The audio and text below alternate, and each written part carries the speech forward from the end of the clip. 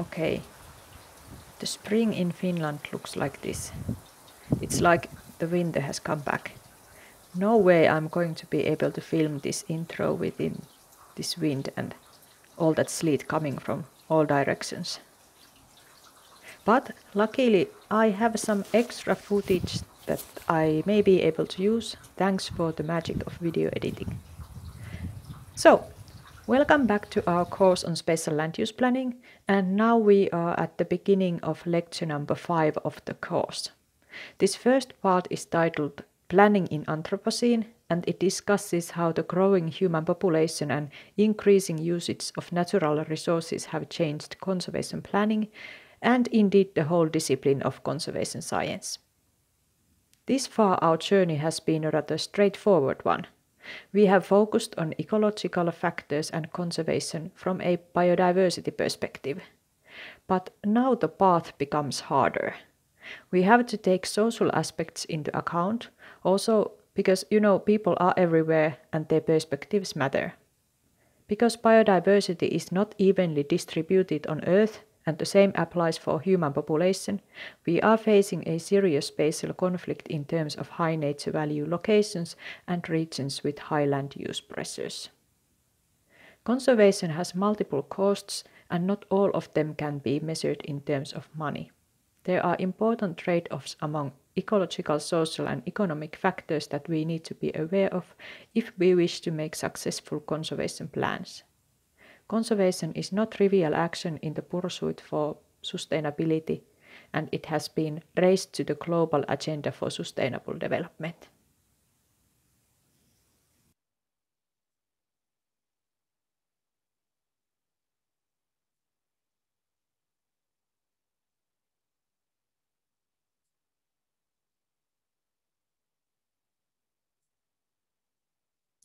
We will start today's lecture with a serious graph. It shows us the development of the global human population in numbers from year 1800 to 2100. The world population was around 1 billion in the year 1800 and it has increased over sevenfold since then. In the beginning of year 2021, there were over 7.8 billion humans on Earth. The future population size is depicted here according to three estimates. As you see, the estimated population projections vary significantly.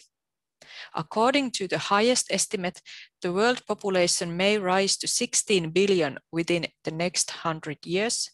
According to the lowest estimate, it may decline to 6 billion.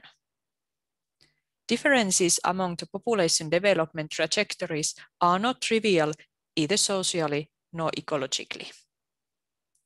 Parallel to the population growth, also the consumption of natural resources has grown, which puts enormous pressures on habitats and ecosystems in the global scale.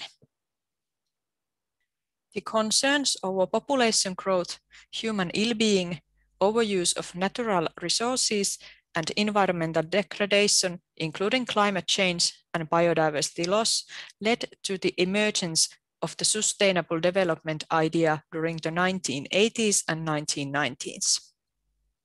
Sustainable development is most commonly defined according to the Brundtland report as a development that meets the needs of the present without compromising the ability of future generations to meet their own needs. Generally speaking, sustainable development builds on two ideas, development as economic and social improvement and the environmental impact of that development. This means a union of two rather contrasting streams of thinking, one that advocates socio-economic development as a desirable change, and the other that constantly worries and gives warnings on the environmental cost of that desired development.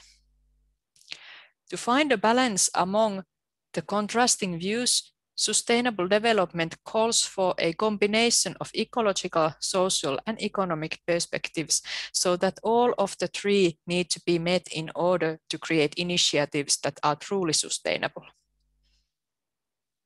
Sustainable development ideology has also received critique. The main critique targets the anthropocentrism in its definition. Sustainable development builds on the needs of people, and although the ecological concern is emphasized, the ecological perspective is not seen as of equal importance.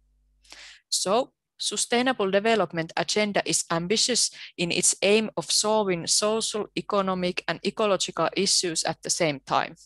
However, it is correct in the sense that the mentioned global challenges are interlinked and thus they cannot be solved individually. To react to the global issues and to bring clarity into the agenda, the United Nations have launched the Global Action Plan for Sustainable Development in 2015. The 2030 Agenda for Sustainable Development includes 17 global goals for sustainable development, two of which are related to conservation actions. Goal 15 deals with oceanic ecosystems and Goal 16 targets terrestrial ecosystems. In the phrasing of both goals, conservation of ecosystems has been given equal emphasis as the sustainable use of natural resources derived from the ecosystems. The way the Sustainable Development Goals are presented follows the general discourse used with Sustainable Development Agenda since the 1990s. It is appealing, but remains vague, it allows for multiple interpretations, which suits well the aim of international advocacy for global implementation. The challenge sustainable development tries to solve is a massive one. Can human aspirations be met within environmental limits? And if so, how? The problem with the idea of sustainable development and with the sustainable development goals is that it identifies a problem, but it does not identify a solution. The general aim is good, but little is said on the actual actions that need to be undertaken in order to achieve, say, halting of biodiversity loss. One way to bring realism to the overarching aims of the Sustainable Development Agenda is to use a targeted approach. Halting biodiversity loss is of course tied to conservation actions and how to do that belongs to the interdisciplinary field of conservation planning. But again, things are not that straightforward because we live in a changing world. The way in which people perceive nature conservation and nature itself has changed significantly in the last few decades. The change in the relationship between people and nature is reflected in the goals of conservation planning also. Conservation planning has moved from questions on reserve or protected area selection to questions that acknowledge the complex interactions between nature and people, such as the provision of ecosystem services. In the 1960s and 70s, the prevalent framing of conservation focused on species and wildlife protection, reflecting strongly a so-called wilderness ideology that places intrinsic value for the wild nature. In the 1980s, people started to acknowledge increasing species extinction and environmental degradation caused by widespread habitat loss, environmental pollution, and overexploitation of natural resources. Strong calls for protecting nature without human influence were raised. Population biology became important in underpinning the conservation action, and natural resource management took long leaps in aiming to secure the food, fuel, and other resource provision for the growing human population. During this era, for example, calculations on the maximum carrying capacity and maximum sustainable yield of fish and other wildlife were abandoned. The turn of the century then saw the rising of the ecosystem services framework. The beginning of the 21st century was all about the benefits ecosystems provide for people systems thinking started to replace the species-centered population approach. Also, environmental economics approach to conservation agenda. This was in line with the sustainable development ideology that has become so widespread and as we know, according to it, sustainability should be achieved in the ecological, social and economic sense simultaneously. The most current framing of conservation is based on a view that seeks for interactions between people and nature. Environmental change is acknowledged as a global and largely irreversible phenomenon, and researchers study topics such as resilience to change and adaptation to change. Instead of ecosystems, researchers increasingly speak about social ecological or socio-ecological systems. That means complex and interacting systems where nature and people are intertwined and the ecological and the social sphere cannot be separated, but they need to be analyzed together. Such an approach is a deeply interdisciplinary one. It combines ecological sciences with the social sciences and lately also humanities are increasingly incorporated. The reason why the paradigmatic idea of what is nature has changed in recent decades ultimately lies in the growth of human population and the effects population growth and increasing consumption per capita have had on nature. The influence of human population growth is everywhere, although the population density is not evenly distributed. Similarly, there are large spatial differences in the per capita consumption around the world and also within countries. Because of the widespread effects of human population on Earth, we have begun to speak of the current era as the age of Anthropocene. It is an unofficial unit of geologic time used to describe the most recent period in Earth's history when human activity started to have a significant impact on the planet's climate and ecosystems. So the human influence extends to every corner of the globe, and it has proven to be an evolutionary force that affects all Earth's spheres. That is lithosphere, meaning land, hydrosphere or water cycles, biosphere referring to all living things, and atmosphere, meaning that the sphere of Earth that surrounds the whole planet. There are increasing demands for land for human settlements, infrastructure and food production, and demands for water and other resources. All these demands and the demanded natural resources are unevenly distributed on Earth, and often they do not meet each other. For example, groundwater is an ample resource here in Northern Europe, but extremely rare in many dry locations around the globe. Another specific trend in the Anthropocene is increasing urbanization, which goes hand in hand with population growth. People move to cities from rural environments to make a living. Urbanization leads to a situation where people become increasingly detached from nature, spatially and often also mentally. However, material connections such as food remain, although the production chains become longer. This means that although the urban population may not need as much land for housing, they or we derive resources from surrounding areas. This leads to an upscaling of human impacts on environment as the ever-growing urban population needs to be maintained by the resources derived from peri-urban and rural areas. So those regions where most people live exert strong land use pressures to nearby areas. Unfortunately, the regions with dense human populations often coincide with the most urgent needs to protect nature from overexploitation. These regions include Southeast Asia, Central America, and tropical Africa. Northwest Europe and Greenland show very contrasting situations.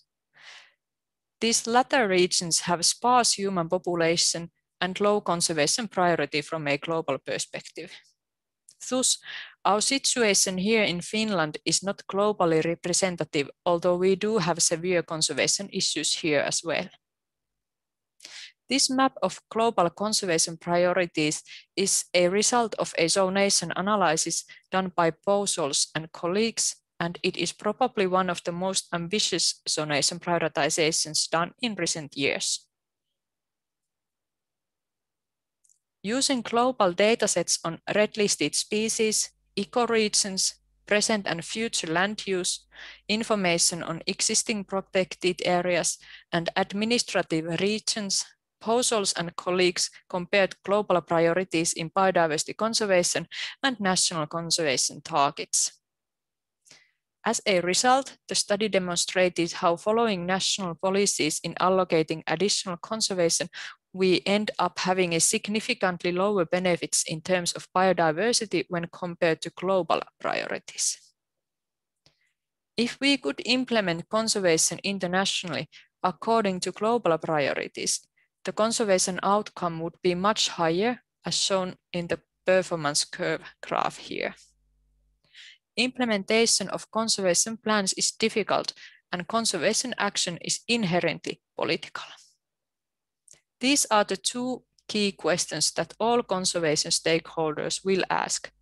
How much does this conservation effort cost? What are the benefits for people and the society? Not all costs are measured in terms of money. The history of conservation, if inspected through a critical lens, is filled with stories of inequality and power misuse. Especially in so-called developing countries, people have been relocated from their homes and forced to abandon their livelihoods because of establishment of nature parks, often based on an initiative of representatives of more wealthy nations. This dark history of conservation should not be buried, but tied to its context, the wilderness ideology combined with colonialism. Currently, human rights are to be taken seriously in conservation planning and action. We need sound, ecologically reasoned political and economic solutions in order to facilitate the coexistence of people and nature.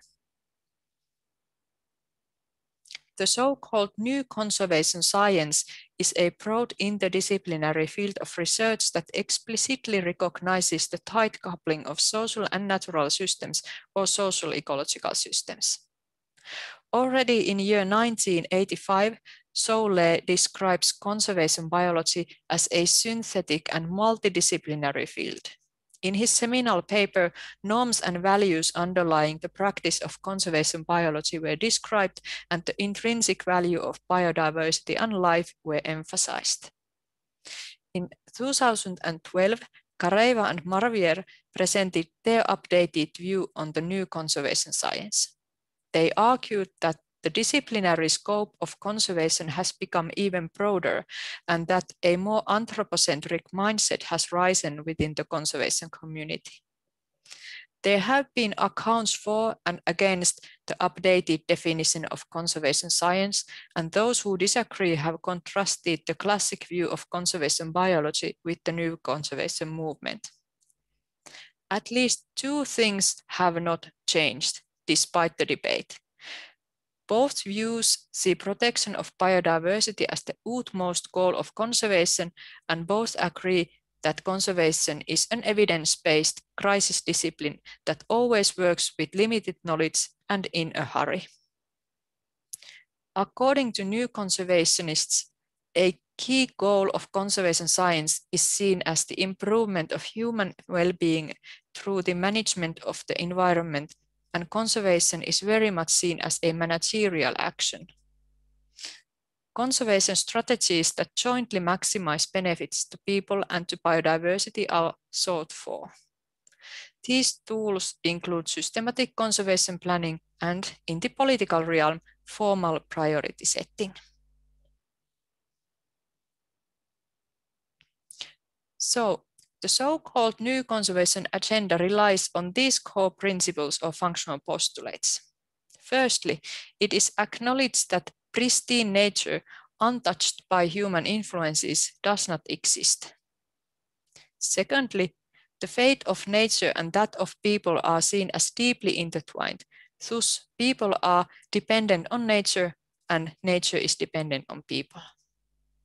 Thirdly, it is noted that nature can be surprisingly resilient. Ecosystems can resist human-induced pressures and recover from significant environmental changes. The fourth principle is that human communities can avoid the tragedy of the commons. This refers to the well-known conflict between individual and collective rationality, a situation where individuals neglect the well-being of society in the pursuit of personal gain. As a result, a shared resource becomes depleted due to the greed of its users, unless the usage of that resource is taken under strict governance. In new conservation, more faith is put into people's ability to abandon personal greed, and it is argued that sustainable conservation can be achieved by empowering local people to make decisions for themselves. The fifth core principle is that local conservation efforts are deeply connected to global forces. In political sense, conservation actions are undertaken in line with international agendas and targets. Global forces can also relate to funding and market economy. Large international businesses can adopt conservation programs as part of their greening agendas or with the aim to compensate for their environmental footprint. What practical advice follows from the core principles? There are five key conclusions. Because human impact is everywhere, conservation must occur within human-altered landscapes. A poet would lament that there are no white areas on the map of the world anymore. Then, because of the spatial overlap of human occupation and conservation needs, conservation needs people's support. If the locals oppose conservation action, the outcome is not durable nor sustainable. Resulting from the fact that conservation is expensive, conservationists must work with corporations. The business sector also has its own interests for conservation, as I already explained. The ethical grounds of such conservation actions would deserve a course on its own. Another conclusion relating to the economics of conservation is that successful conservation seeks to jointly maximize ecological and economic objectives. Sustainable conservation businesses could, in the best scenario, hold biodiversity protection as their main focus while funding themselves and thus they would not be dependent on money coming from the outside. Finally, conservation must not infringe on human rights and conservation must embrace the principles of fairness and gender equity. Many of these ideas may seem obvious to people living in the global north, but they can be quite radical in the context of so-called developing countries. In many of these countries, there is significant spatial overlap of biodiversity and land use pressures from growing human population, and the implementation of conservation agendas has often overlooked social aspects, including human rights. Examples of this include land grabbing from indigenous people in order to establish protected areas that exclude human inhabitation, as I already mentioned. On the other hand, the social problems caused by urbanization and population growth and the need for social development to improve people's well-being can exert huge pressures on biodiversity. The societal development is paid through economic growth, which in turn is based on the use of nature and its resources. There are politicians who claim that not every country can afford conservation, and then there are conservationists who argue that people do not have the right to exploit nature for people's benefit. You can imagine the heated debates, value conflicts, and power struggles that are ongoing on the global conservation arena. What then is the role of protected areas in this new era of conservation? To start with, it is important to see protected areas as complex social ecological systems that are not isolated from the other world.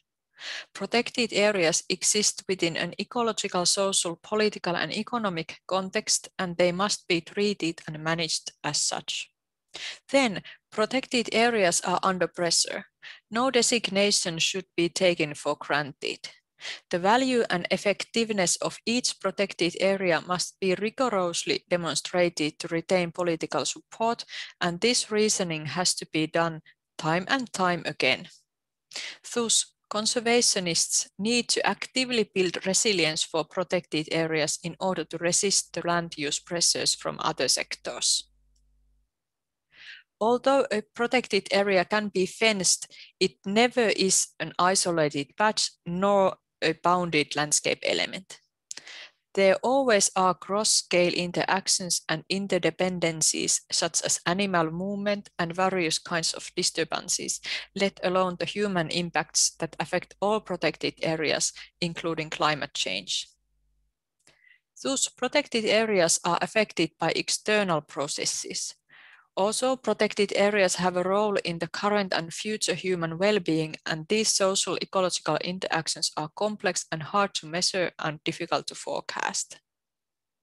As a result, if protected areas are to provide a sustainable future for biodiversity, their social and ecological roles need to be periodically re-evaluated, renegotiated, and re-envisioned to ensure that they remain relevant.